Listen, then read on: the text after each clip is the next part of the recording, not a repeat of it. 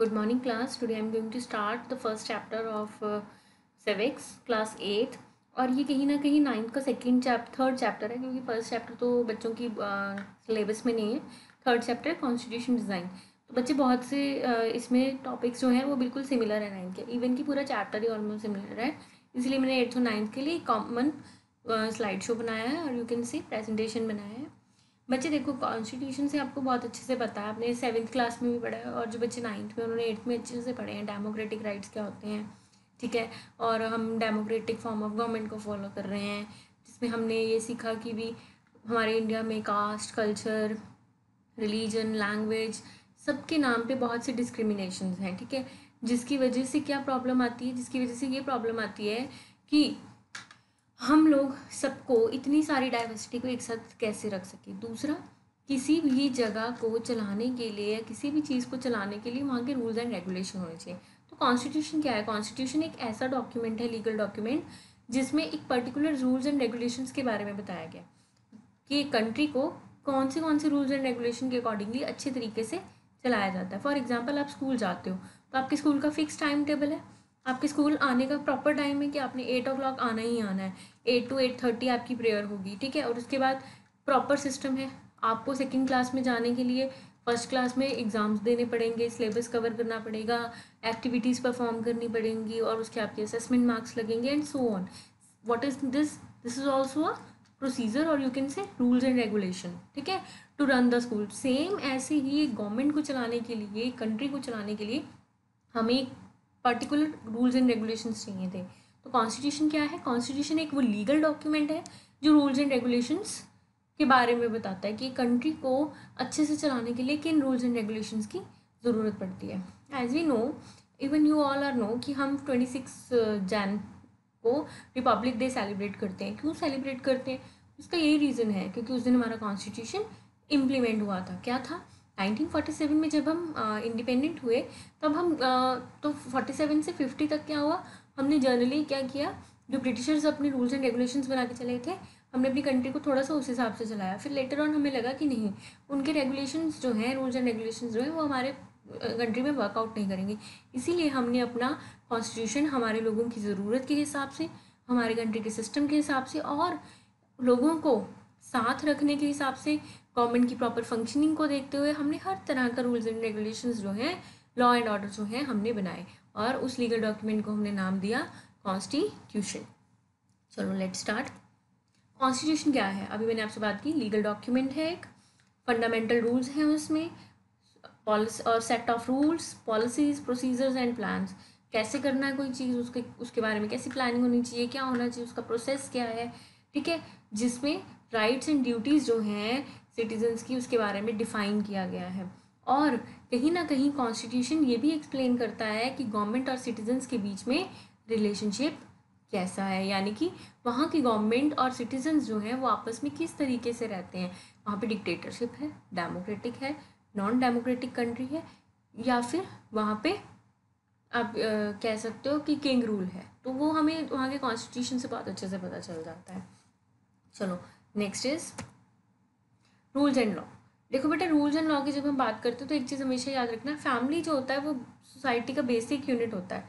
तो हम जो रूल्स एंड रेगुलेशंस बनाते हैं, वो लोगों के हिसाब से यूनिट के हिसाब से बनाते हैं। जैसे कि हिंदू कम्युनिटी की फैमिलीज़ हैं, मुस्लिम कम्युनिटी की फैमिली है, वो हमने क्यों ऐसे अलग अलग लेवल्स पे हमने क्यों उनको बांटा? क्योंकि हमारे इंडिया में कास्ट कल्चर रिलीजन जेंडर ठीक है, और कलर इन सब चीज़ों के नाम पे इतना ज़्यादा डिस्क्रिमिनेशन था। तो सबसे पहले तो family is the basic unit of society ठीक है? एक फैमिली से ही सोसाइटी फॉर्म होती है। It comprise of various institution and organisation at different levels और रूल्स एंड लॉज क्या कहते हैं? कि डिफरेंट ऑर्गेनाइजेशंस और इंस्टीट्यूशंस को अलग अलग लेवल्स पे किस तरीके से हम चला सकते हैं और उनकी जितनी भी वर्क फंक्शनिंग है, जो भी उनकी वर्किंग मैकेनिज़्म है, वो सारी की सारी रूल्स एंड रेगुलेशंस पे डिपेंड करती है। जैसे मैंने अभी आपको अपने, आपके स्कूल का एग्जांपल दिया कि फिक्स टाइम टेबल है। प्रॉपर टाइमिंग्स हैं आपके स्कूल की कि आपने एट टू टू ही आना है। अगर आपको टाइमिंग नहीं पता होंगे तो कोई कभी आ रहा है तो कोई कभी आ रहा है। तो वो क्या सिस्टम बन पाएगा पढ़ाई का? नहीं। तो किसी भी ऑर्गेनाइजेशन की स्मूथ फंक्शनिंग और उसके वर्किंग मैकेनिज्म को अफेक्टिव बनाने के लिए हमें रूल्स एंड रेगुलेशंस की ज़रूरत पड़ती है। नेक्स्ट रूल ऑफ़ लॉ क्या होता है?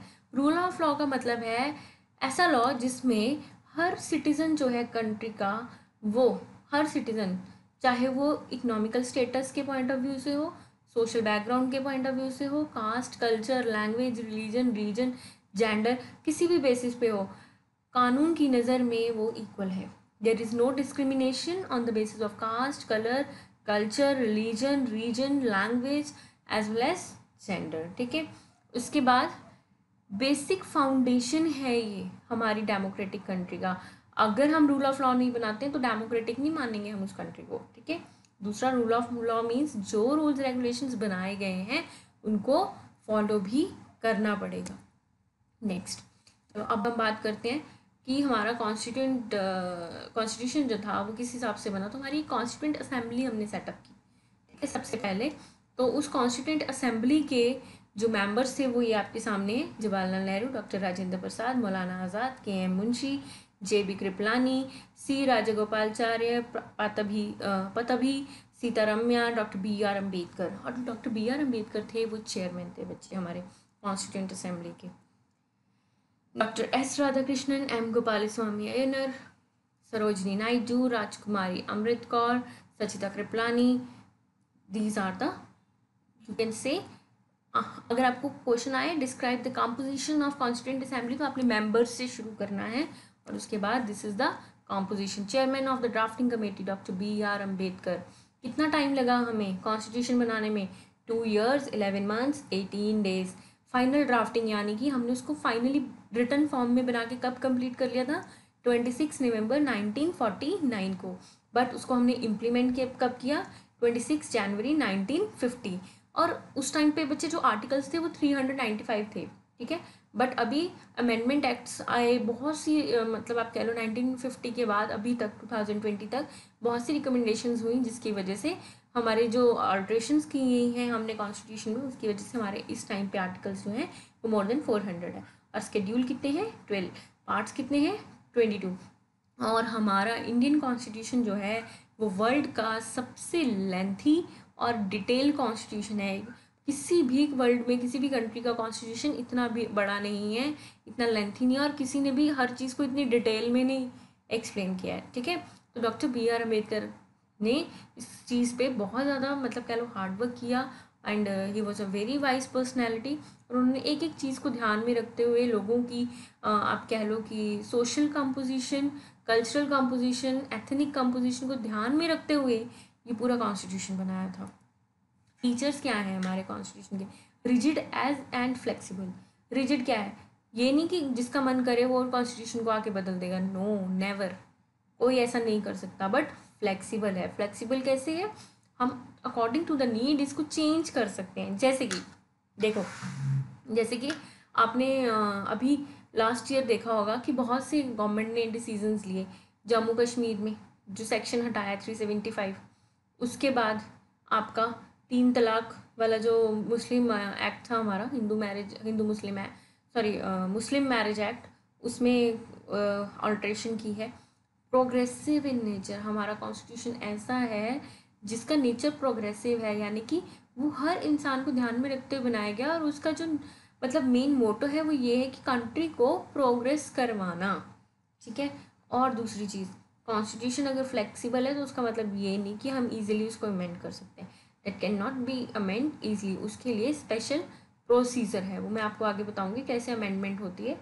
ठीक है? रिटर्न डॉक्यूमेंट है। जो भी हमारा कॉन्स्टिट्यूशन है वो रिटर्न में लिखा गया है। किसी को कोई भी प्रॉब्लम है कुछ भी आ, मतलब पढ़ना है जानना है कोई इन्फॉर्मेशन लेनी है तो वो उसका एक फुल फ्रेज प्रूफ है। यू कैन से कि एक ऑथेंटिसिटी है उसकी। ठीक है? और बहुत ही यूनिक कॉन्स्टिट्यूशन है हमारा। लेंथी कॉन्स्टिट्यूशन है ठीक है these are the feature of your Indian constitution next fundamental rights right to equality right to freedom right to education right against exploitation and right to constitutional remedies ये हमारे basic fundamental rights हैं. ठीक है? Procedure क्या है constitution को amend करने के लिए? तीन प्रोसीजर्स हैं बेटा अमेंडमेंट के. By simple majority by special majority and the special majority and the ratification so simple majority पढ़ते हैं. कॉन्स्टिट्यूशन में कोई भी अमेंडमेंट यानी कि कोई भी चीज़ को चेंज करने के लिए एक अमेंडमेंट बिल हमें पास करना पड़ता है। ठीक है? और वो जो बिल है, वो कैसे प्रूव किया जाएगा? वो दोनों पार्लियामेंट के राज्यसभा और लोकसभा में मेजॉरिटी पे, ठीक है अप्रूव होना चाहिए। यानी कि राज्यसभा के मेंबर्स और लोकसभा के मेंबर उस अमेंडमेंट के लिए एग्री होने चाहिए। वहाँ पे वो लोग अपनी वोटिंग देंगे, ठीक है? यानी कि अपना व्यू पॉइंट बताएँगे कि कितने लोग उस पर्टिकुलर अमेंडमेंट के लिए एग्री हैं और डिसएग्री हैं। अगर ज़्यादा लोग डिसएग्री हुए तो वो अमेंडमेंट नहीं होगी। ज़्यादा लोग एग्री हुए तो वो अमेंडमेंट हो जाएगी। This is simple majority system next is your special majority क्या है? Absolute majority of total membership ठीक है? प्रॉपरली सब लोग मानने मानने चाहिए उस चीज़ के लिए दोनों हाउसेज में। Plus two third minimum two third majority of members present in voting जितने मेंबर्स हमारे राज्यसभा और लोकसभा के हैं फाइव फिफ्टी और टू फिफ्टी उनमें से टू थर्ड जो हैं, उनकी हाँ होनी चाहिए। लोकसभा वालों की भी और राज्यसभा वालों की भी। अगर वो कहेंगे तो ही वो अमेंडमेंट होगी अदरवाइज़ नहीं होगी। Next is your special majority and ratification pass by special majority in both the houses of parliament यानी कि लोकसभा और राज्यसभा दोनों से स्पेशल मेजोरिटी से वो पास होना चाहिए as well as approved by the legislature of at least half of the total number of seat special majority और रेटिफिकेशन में सिर्फ़ एक पॉइंट ऐड हुआ है। देखो फ़र्स्ट में क्या है? अमेंडमेंट जो पास होगा, उसके लिए एक अमेंडमेंट बिल बनाना पड़ेगा, ठीक है? सिंपल मेजोरिटी में। और उसको कहाँ पास करवाना है? लोकसभा और राज्यसभा के मेंबर्स से मेजोरिटी में। और स्पेशल मेजोरिटी में क्या था? एब्सोल्यूट मेजोरिटी होनी चाहिए सारे मेंबर्स की, यानी कि सारे मेंबर्स एग्री होने चाहिए स्पेशल मेजोरिटी में। अगर सारे नहीं होते तो मिनिमम टू थर्ड होने ही चाहिए। स्पेशल मेजोरिटी और रेटिफिकेशन में क्या होता है कि दोनों हाउसेज में वो बिल पास होगा। स्पेशल मेजोरिटी से, यानी कि ज़्यादा से ज़्यादा लोग एग्री करने चाहिए उस पर प्लस उसके बाद लेजिस्लेटिव असेंबलीज में approved by the legislature also ठीक है? At least half of the total number of seats मतलब जितनी सीट्स हैं लेजिस्लेचर की, यानी कि जितने लोग हैं, उसमें एटलीस्ट फिफ्टी परसेंट लोग उस चीज़ के लिए हाँ कहेंगे तो वो अप्रूव होगी at least half of the total number of seats what my point this is the procedure of amendment of constitution next preamble क्या है? सीधी सी बात। Which document is known as the introduction of our constitution that is preamble preamble एक हमारा constitution इतना बड़ा है ना बेटा, उसको पढ़ना बहुत ज़्यादा टफ है। तो प्रियम्बल एक इंट्रोडक्शन है। जैसे कि आप वो लिखते हो ना एक्नॉलेजमेंट लिखते हो या प्रीफेस लिखते हो, ठीक है, या आप समरी लिखते हो किसी चीज़ की, ये वो है। ठीक है? प्रियम्बल ऐसा है कि अगर हम प्रियम्बल को पढ़ेंगे तो हमें पता चल जाएगा, हम जो इंडिया का कॉन्स्टिट्यूशन है, उसमें बेसिकली किन राइट्स के बारे में बात की गई है, और वो किन बेसिस पे, किन पॉलिसीज़ या प्रिंसिपल्स के ऊपर बना हुआ है। तो प्रियम्बल में सबसे पहले सॉवरन स्टेट ठीक है? सॉवरन स्टेट मतलब इंडिया जो है, वो सॉवरन स्टेट का जो प्रोसेस है या पॉलिसी है, उसको ऑप्ट कर चुका है। यानी free from external controls external controls नहीं है। Free to take our own decision अपने डिसीजंस खुद ले सकता है। सोशलिस्ट स्टेट है इंडिया अपनी इकोनॉमिक जस्टिस को खुद इस्टेब्लिश करेगा। और हर तरह की एक्सप्लॉयटेशन के अगेंस्ट अपनी आवाज़ उठाएगा। कोई भी किसी को किसी भी तरीके से, किसी भी बेसिस पे एक्सप्लॉइट नहीं कर सकता। और सोशल वेलफेयर जो है, वो एक प्राइम मोटो है इंडियन गवर्नमेंट का। सेकुलर स्टेट हर रिलीजन को इक्वल फ्रीडम है और हर कोई अपनी मर्ज़ी से कोई भी रिलीजन ऑप्ट कर सकता है और उसको करने की परमिशन भी है प्लस हर रिलीजन को इक्वल रिस्पेक्ट दी जाएगी और कोई भी डिस्क्रिमिनेशन रिलीजन के बेसिस पे नहीं किया जाएगा। डेमोक्रेटिक स्टेट है गवर्नमेंट को कौन इलेक्ट करता है? लोग, और लोगों के पास वोटिंग राइट्स हैं। That's why we call for the people to the people and by the people republic state भी है रिपब्लिक स्टेट का फॉर्मूला भी हम इसमें पॉलिसी या कह लो प्रिंसिपल को हम फॉलो करते हैं। Why head of the state is president president की बहुत ही प्राइम पोजीशन होती है। एक गवर्नमेंट बॉडी में, ठीक है? तो हमने प्रेसिडेंट का जो कंसेप्ट है, उसको ऑप्ट किया है। President is an elected head from amongst the people हमारे में से ही प्रेसिडेंट जो हैं, वो बनाए जाते हैं। Universal adult franchise universal universe पहले तो वर्ड से ही समझो। यूनिवर्सल का मतलब होता है ऑल ओवर द वर्ल्ड सारी जगह जो चीज़ हो।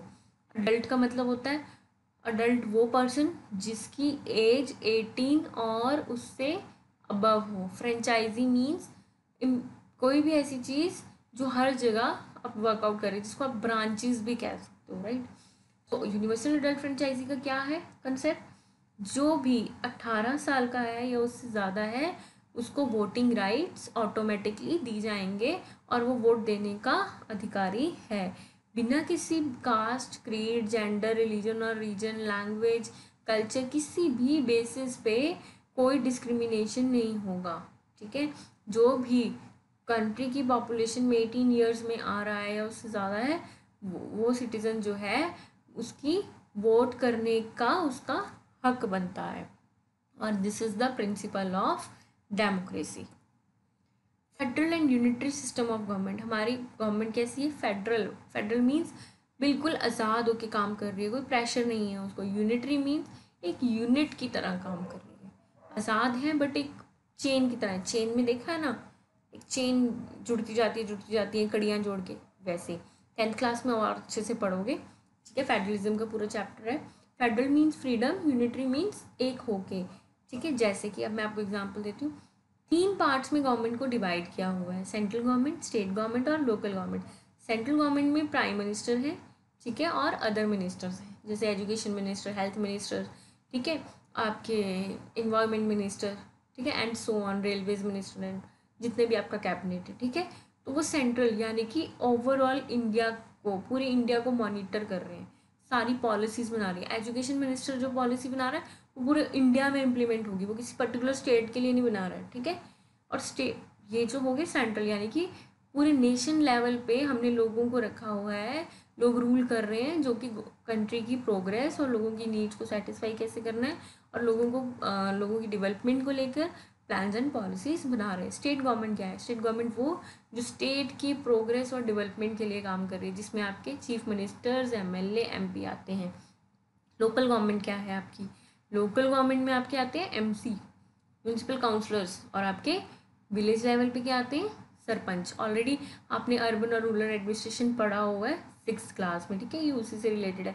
और लास्ट ईयर एट्थ क्लास के बच्चे वो पढ़ के आए थे स्टेट गवर्नमेंट का चैप्टर चैप्टर नंबर नाइनटीन है ना? पढ़ा था ना? Democracy and equality eighteen chapter था आपका, और नाइनटीन चैप्टर आपका स्टेट गवर्नमेंट था. तो ये फेडरल और यूनिटरी सिस्टम कैसे है? आपस में एक दूसरे से कनेक्टेड है। प्राइम मिनिस्टर जो ऑर्डर इशू करेगा, वही स्टेट गवर्नमेंट को मानने पड़ेंगे और आगे स्टेट गवर्नमेंट क्या करता है? लोकल गवर्नमेंट को फॉरवर्ड करता है। अब जैसे देखो, जैसे कोविड नाइन्टीन की सिचुएशन चल रही है तो प्राइम मिनिस्टर मोदी ने कहा लॉकडाउन कर दो। अब प्राइम मिनिस्टर मोदी एक एक स्टेट में जाके थोड़ी चेक करेगा, इतनी बड़ी कंट्री है हमारी। तो उसने क्या किया? वो रिस्पॉन्सिबिलिटी किसको दे दी? चीफ मिनिस्टर्स को कि आप अपनी अपनी स्टेट में करो। और चीफ मिनिस्टर्स अब एक स्टेट में इतने सारे गाँव आते हैं डिस्ट्रिक्ट्स आते हैं, ठीक है छोटे छोटे रीजन हैं सिटीज़ हैं, शहर हैं टाउन्स हैं, ठीक है? तो अब बेचारा चीफ मिनिस्टर अकेला इतनी बड़ी स्टेट को ऐसे कवर करेगा? तो उसने वो काम किसको दिया? लोकल गवर्नमेंट को। ठीक है? ये इस तरीके से चेन में काम कर रहे हैं। सब इंडिपेंडेंटली काम कर रहे हैं बट एक साथ मिल काम कर रहे हैं। फेडरल गवर्नमेंट क्या होती है? बेटा फेडरल गवर्नमेंट का मतलब होता है transfer of authority responsibility and accountability अभी मैंने जैसे आपको एग्ज़ाम्पल दिया प्राइम मिनिस्टर की रिस्पॉन्सिबिलिटी है एक स्टेप उठाना कंट्री के बेनिफिट के लिए। तो कोविड नाइन्टीन में लॉकडाउन करके प्राइम मिनिस्टर ने एक स्टेप उठाया। अब क्या था? ये उसकी अथॉरिटी थी। आगे उसने क्या किया? इसकी ज़िम्मेदारी कि हर स्टेट में ये चीज़ होनी चाहिए। उसकी ज़िम्मेदारी किसको भेज दी? रिस्पॉन्सिबिलिटी किसको ट्रांसफ़र कर दी? चीफ मिनिस्टर्स को। और उनको अथॉरिटी दे दी कि ये तुम्हारे मतलब तुम्हारे पास पावर है कि तुम ये काम कर सकते हो। अकाउंटेबिलिटी अकाउंटेबिलिटी कैसे? अकाउंटेबिलिटी इस तरीके से कि हाँ अगर कोई प्रॉब्लम होती है, नहीं होता अगर ये चीज़ तो उसके लिए तुम जिम्मेदार हो, उसके लिए आंसरेबल तुम हो, मैं तुमसे ही पूछूँगा कि तुम्हारी स्टेट में ये चीज़ क्यों नहीं हुई और कैसे नहीं हुई। तो फेडरल गवर्नमेंट का मतलब क्या होता है? जिसमें तीन चीज़ें ट्रांसफ़र कर दी जाती हैं ट्रांसफ़र ऑफ़ अथॉरिटी रिस्पॉन्सिबिलिटी और accountability thank you so much for watching for listening me as well as for watching this video and uh, thank you bache for cooperating me. If you have any kind of query then then you can comment in the comment section box. If you have any question any doubt you can write over that over that as well as please like share and subscribe my channel. Please press the bell icon. If you press the bell icon you will automatically get the notification of my next video. Thank you. Have a nice day. Stay at home and stay stay safe